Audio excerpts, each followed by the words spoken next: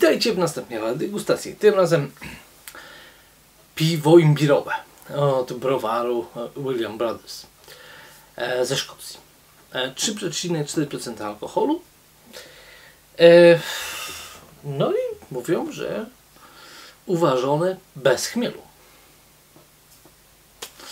Wystarczająco dużo jest imbiru, żeby było goryczkowe. E, dobra, zobaczymy co to będzie.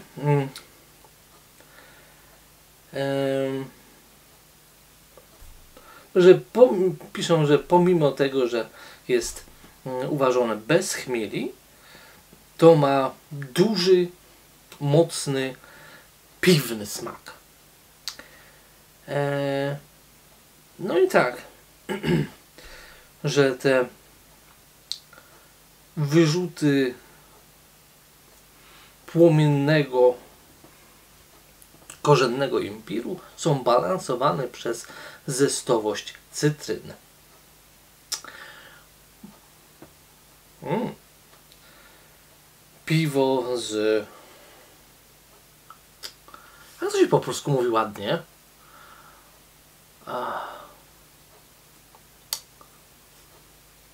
Pazurem. O, piwo z pazurem. No, po angielsku jest a beer with a bite. Ale piwo z pazurem to brzmi dobrze. E, dobrze. E, w składnikach jest woda, słód jęczmienny, imbir 8%, fruktoza, sok cytrynowy, cytryny i drożdże. Nie tak źle. 3,4. E, to nie jest najnowsze piwo, że tak powiem, może najnowsza odsłona tego piwa, bo mieli tradycyjne piwo imbierowe 3,8% i mniej więcej podobne składniki. Też dodali cytryn e, i właśnie tego mm, imbiru korzennego. Mieli na taką wersję mm, tego tradycyjnego imbirowego piwa jako e, Tesco Finest.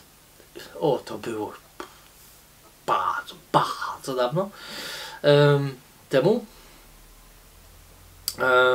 W ubiegłym stuleciu? Nie, może niekoniecznie, ale 12, 13 lat? Coś takiego. Dawno, dawno. E, starsi górale. Nie, śmieję się, ale przejdźmy do piwa. E, taki słomkowy kolor, zamglone. E, jak widzicie nie ma piany, bo ono opada no, momentalnie. E, jak skończycie wideo, no, będzie Yy, nagranie z nalewania i zobaczycie, że w kilka sekund całkowicie opadła ta piana przy nalewaniu. Eee, także zostało jakieś takie maluśkie, maluśkie wspomnienie o brązce eee, na tym piwie. Spróbujmy.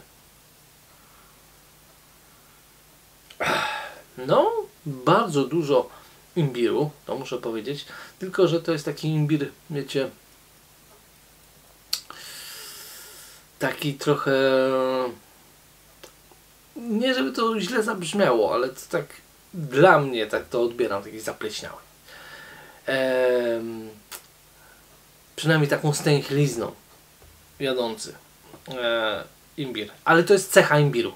To nie jest to, że imbir zapleśniał albo wiecie o co mi chodzi.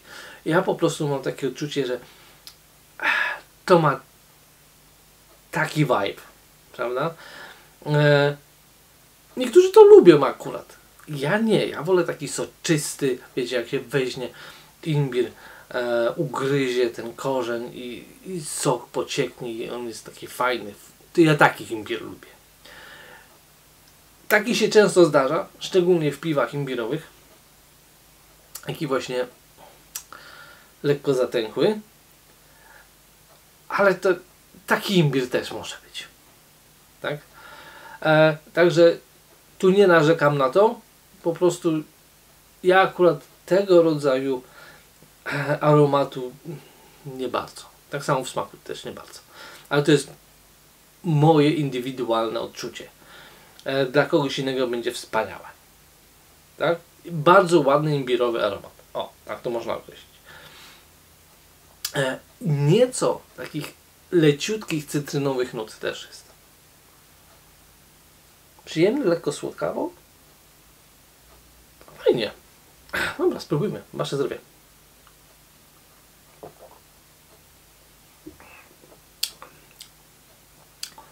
Mm, nieźle. E, trochę słodkawo jest. Ale y, jest to zbalansowane e, sporą ilością cytryny. Takiego, takiej soczystej cytryny. Troszkę zestu, ale nie dużo. No i pff, tony imbiru. I tu już jest lepiej. Tu już jest dużo mniej tego e, właśnie a, zatęchłego imbiru. Jest więcej soczystego. E, I to mi się bardzo podoba. E, naprawdę fajnie się dopije.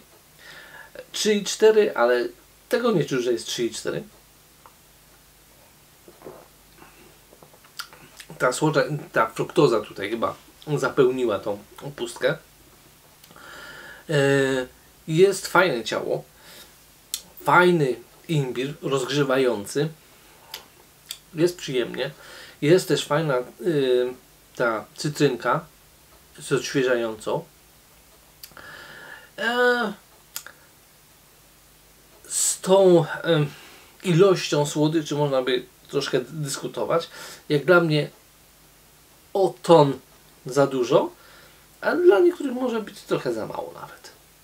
E, piwa imbirowe mogą być dosyć słodkie. E, także tu nie widzę wielkiego problemu. Nadal jest to bardzo fajne, mm, bardzo odświeżające, sesyjne, przyjemne w odbiorze piwa. Także warto spróbować. E, no ja wiem, że nie każdy lubi imbir.